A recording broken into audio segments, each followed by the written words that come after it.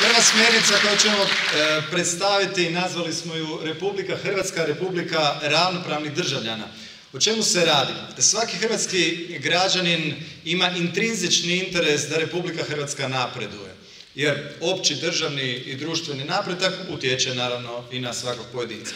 S obzirom da je to e, interes, kao što sam rekao, svakog državljanina, on je u stvari i zajednički interes i taj zajednički interes bi trebao rezultirati jednim zajedništvom.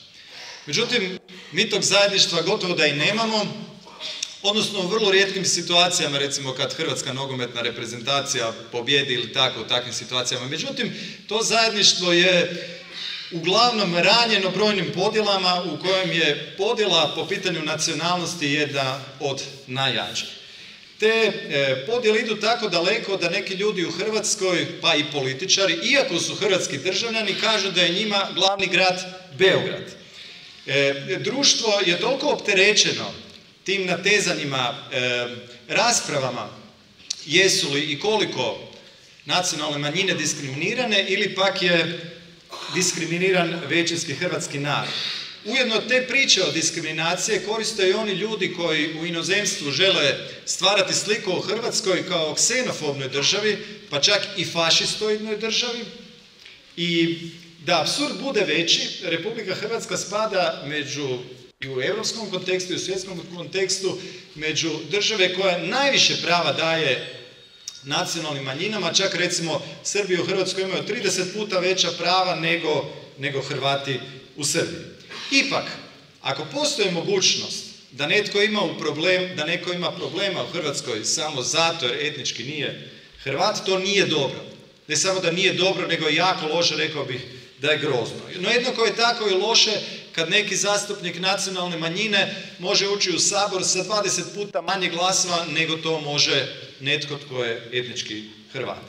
Dakle, smjer u kojem su nas do sad današnje vlade vodile po tom pitanju očito nije dobar. On ne samo da ovih 30 godina nije riješen, nego čak bi mogli reći i ponekad se čini da čak i eskalira. Dakle, vrijeme je da jednom za uvijek riješimo to pitanje. Kako to riješiti? Što je u stvari nacionalnost? Kako se ona određuje?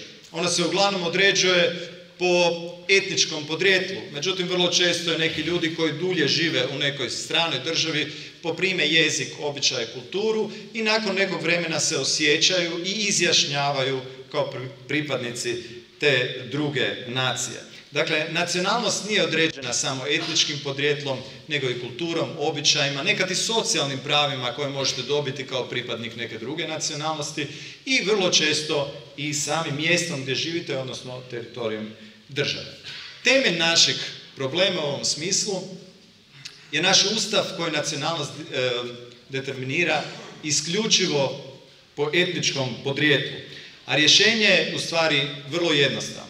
Jednako kao što Francuska, Rumunjska ili Sjedinjene američke države određuju e, nacionalnost po državljanstvu, drugim riječima, u Francuskoj je svaki francuski državljanin francuske nacionalnosti. Svaki on po nacionalnosti francuz, bez obzira na različito etičko podrijetlo.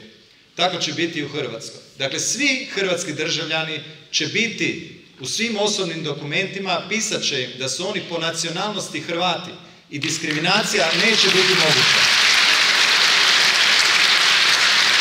Mi ćemo na taj način dići pripadnike nacionalnih manjina na razinu, dići ćemo ih na razinu većinskog hrvatskog naroda i više nećemo biti podijeljena nacija na manjine i većine, nego ćemo biti nacija ravnopravnih državljana u kojem ćemo svi imati ista prava. Naravno, etičku, etičku raznolikost ne samo da ćemo dalje poticati, nego ćemo još pojačati. Znači jezik etničkih zajednica, kulturu, folklor, tradiciju, sve ćemo to pojačavati.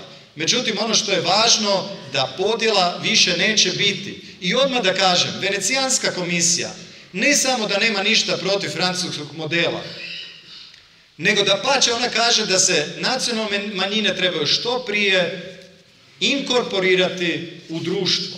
Dakle, zaista nema problema sa tim rješenjima. I postavlja se u stvari pitanje zašto SDP i HDZ to danas, do danas nisu riješili. Jel možda zbog nekakvih kompleksa iz prošlosti? Ili možda jer je netko namjerno htio ugraditi nekakvu sistemsku grešku u naš ustav da nas Hrvatsku uvijek čini slabijom, da nas uvijek čini ovisnom? Nije nas briga. Dakle, Hrvatska je zaslužila i vrijeme je za logična i pametna rješenja.